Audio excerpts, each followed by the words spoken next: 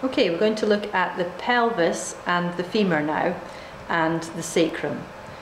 So these bones um, have different bony landmarks on them, and on the ilium, we have the ilium here, and we have the iliac crest on either side. We have the superior iliac spine, the inferior iliac spine. So it's the anterior superior iliac spine, the anterior inferior iliac spine.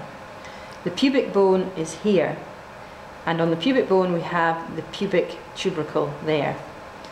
The other bone is the ischium, which is here, and we have the ischial tuberosities, which we'll look at in a minute. This is the sacrum here, and then we have the femur here, with the head of the femur, the neck of the femur, and the greater trochanter. On the posterior aspect of the pelvis, we have other bony uh, landmarks.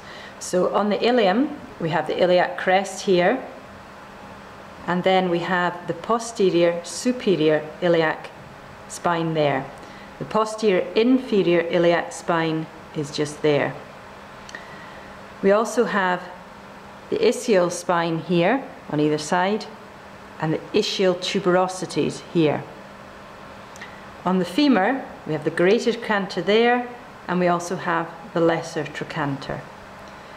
This is the sacrum here, and at the bottom of the sacrum we have the coccyx.